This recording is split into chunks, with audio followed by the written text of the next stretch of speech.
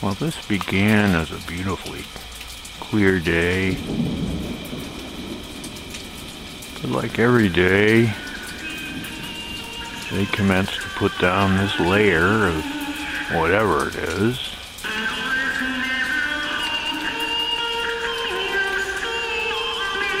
And it turns the blue sky into this white